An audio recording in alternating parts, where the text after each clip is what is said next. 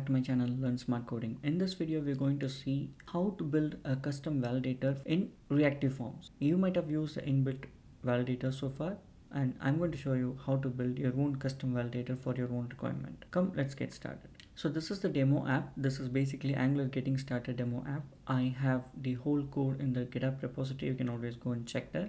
Now we'll focus on creating an item and then I'll show you how to build a custom validator over there.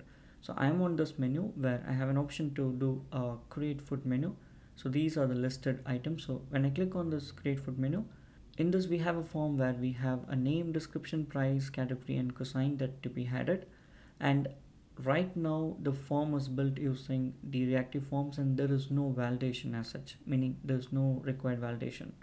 So I'm going to open up my developer tool and go to the network, clear up all the logs and show you what happens. I don't have the validators and if I click on save, it is going to throw me some error from the external API. So in this app, I've already handled the backend API error. If a backend API error throws 400 error data, bad data, I have already handled that in the application, but we will focus on creating the custom validator and show you how to stop that or how to prevent it on the front end itself. So you see, I triggered a call because of no validation. I received a 400 error back. So you see all the dummy data in the payload was sent. That's why API stopped me saying, hey, name is not correct, description is not correct, it should be of minimum some length. Nothing was received. That is why we got a 400 response, right? Now let's keep that in a second place, meaning API will always validate, but at the front end, we if we know what needs to be validated, we can validate at the front end itself instead of firing any API. Now that is what we're going to see. So these errors that you're seeing up, these are all because of handling the backend error properly. You, you can watch more in detail when in my reactive form course, but let's focus on building the custom validator. I'm going to go to that component food create component and in that component you can see the form was built with only the name description price and other properties. There are no validators as such. So where do you add the validators? So if you consider a name property after the value you here you can put a validator. So validators dot these are the available inbuilt validators like max email minimum length maximum length all those things right? So these are all out of the box. You can use it. But we will focus on a couple of uh, important uh, validators. And I'll show you how a customized validator for a price will look like.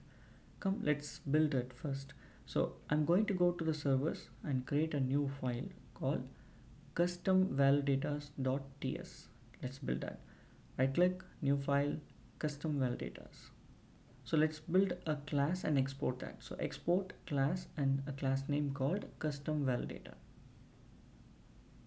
So here what we are going to do is here we are going to write some method which will have our custom validators. Now before we do anything there come here for a moment.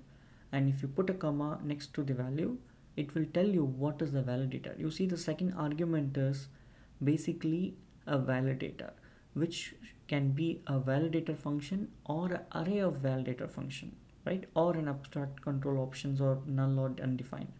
We are going to build methods, a function which will return validator function as the return type. That is how we will build a validator, custom validator. Let's switch back to this file. Let's build a static function.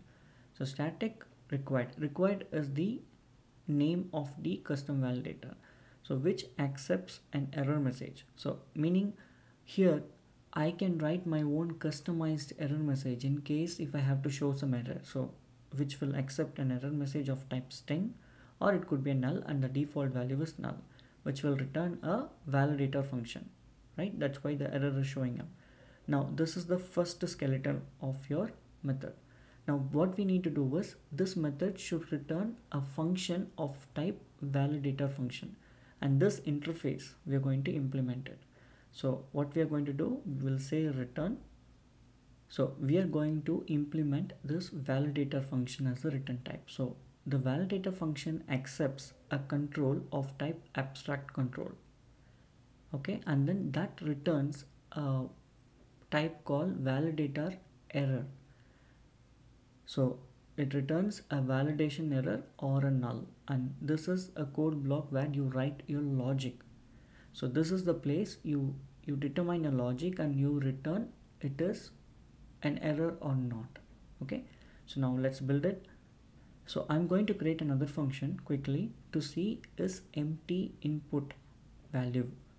I'm going to build a function called is empty input value which will accept a value of type any and we are going to check the condition and return a boolean property.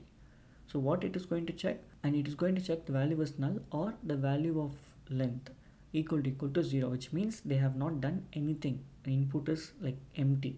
Okay? So we are going to check that. So here what we will do return is empty input value. So we'll put this method. Let's rename this method into a proper one. Empty e capital letter so now we have done that. So here we pass in the control value. Okay? Control value is nothing but the control. Whichever control we are putting it like for example name or description the value of that control. So we pass in the value of the control to this method and check whether it is true or false. If it is true we are going to return a object of a method. We, if this is true we are going to return an object which is of type error. If not we simply return a null so what do we return in this return? So we return two properties. One is required and we will set that property as true and then we return a message property within that object and that we set as error message. If the error message is not sent from the caller we will fall back to a default one. That's why there was an or operator. Okay?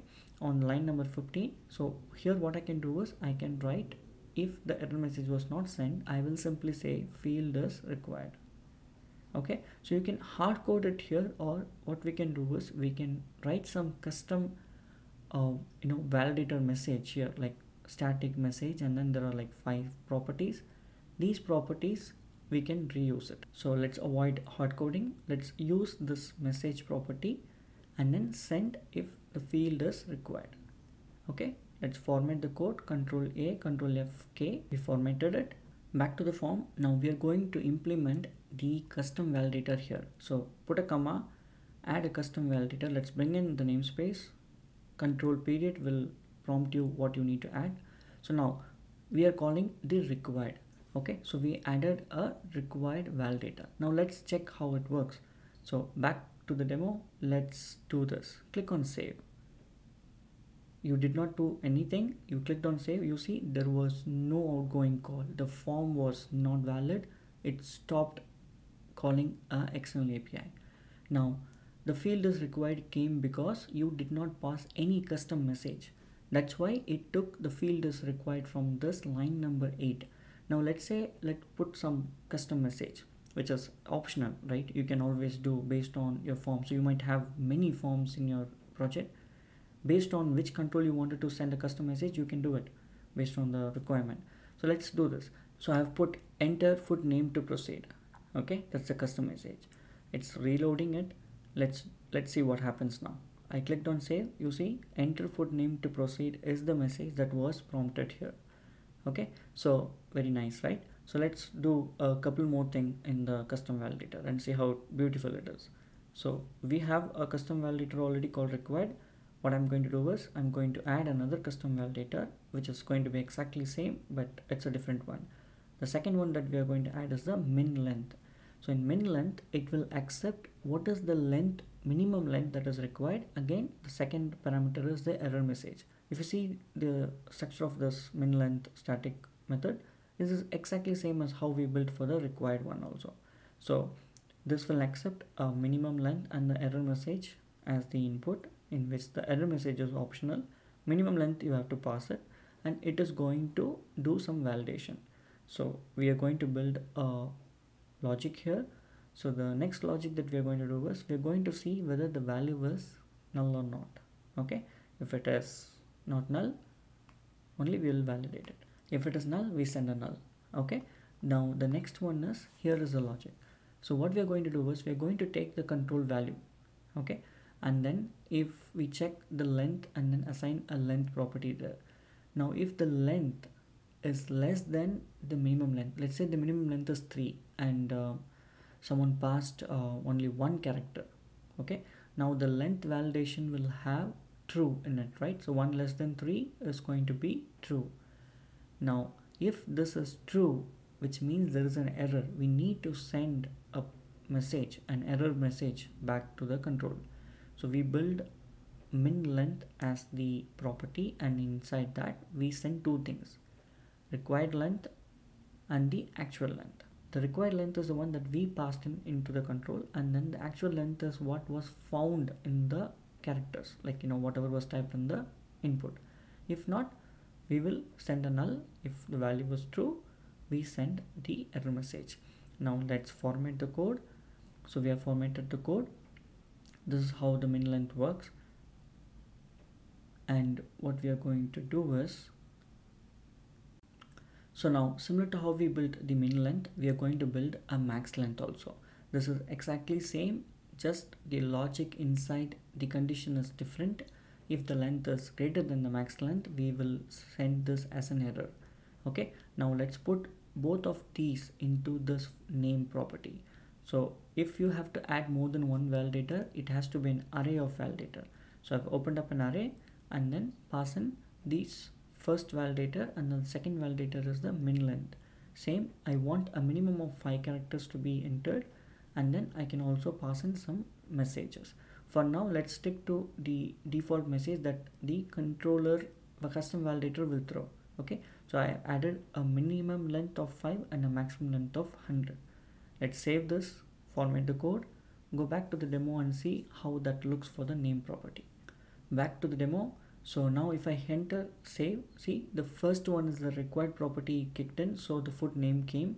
As soon as I start typing the second validator kicked in and said hey you need to enter at least five. Let's try this. See this is the validation uh, you know flow. First one kicks in the second one kicks in and where is the third one kicks in third one will kick in when there is more than 100 character. And this is how the default message was formatted. Okay? The 5 and the 100 now you can pass in a custom message also. So here I'm overriding the message and passing. At least 5 characters are required in the food name name of the food. Okay? That is what my custom message is. So let's add that. Let's copy this and put it into the maximum also and change this 5 characters to the maximum of 100 characters. So we say maximum of 100 characters are allowed for the food name. Save it go back to the demo let it load. If you hit on save now the first one kicked in the second one is like 5 characters see the custom message came and you as you type more than 100 it will validate and give you the third validation message. See you got the third validation message so one shot you are able to show more than one validation message with different verbiages this is what company generally ask for okay now we know how to build this now let's put this together into the description also now let's add a similar validation what we have done for the name. Let's copy paste for the description and quickly change the required content for the description. Like the minimum is 100, the maximum is 5000. So validations are same for both the fields. It's just the different verbiage. Let's quickly do that. All right. Now you can see validations for both happening. So if I start typing, it shows different validation message. Now we need to implement for the price. Let's go back to the code and let's go into the custom validator. So I'm going to copy paste a custom validator called greater than. Basically, it's going to accept a value and it will determine whether the value is greater than that value or not. So that we can set a price tag minimum of $5 for example. So any food item that is supposed to be created should be of minimum of $5 or any number that you pass. So here coming back to the form control add that custom validator dot greater than and pass in the minimum or the maximum that you wanted to set so 5 is what I'm going to set and I'm going to pass in a custom message so the custom message is price of food should be minimum of five dollars. That is what this 5 is always interchangeable. You can pass anything based on the form. Now I have said that. Now if you hit a save you see this is also validated. Now I don't want any item to be created or I don't want any food to be sold out less than five dollars. So if you enter anything less than five or five it's going to throw you error. And six is greater than five it accepted it. Now let's fill up all the information quickly you can see different error message coming and going. And let's and let's just copy paste something in the food description. So i wanted to put as 100 characters so i'm going to copy paste the same thing. It's just a demo. Don't worry about any of the content here. The concept is all about how the validation works. So let's put everything there. Everything went successfully. I was able to create a record and that record was success. I got to note one which is created as the status code that i got let's go to all food and see that item was created or not. Scroll down all the way down. Scroll all the way down and you can see the last item which was created and that was of six dollars. Great. Now i hope you uh, enjoyed this video. You know now how to build a custom validator based on your requirement. And that's it for the custom validator. I hope you can build your own custom validator based on the requirement uh, for the different forms and you can reuse that i wanted to show you something on the form. So instead of passing a value here you can pass an object. So this object contains value for different attributes. So value is one of the attribute for an input and you can pass value as foot or like any for example new foot, right? So this will be put into the control. And not only that you should use always this one to set any of the attribute like say disabled attribute you should not do anything disabled attribute. You should not add the attribute disabled directly onto the html rather use the attribute here whenever you use reactive form because it will throw you error and it will not be able to manage both the attributes on a different way. So let's put this to attribute value and disabled.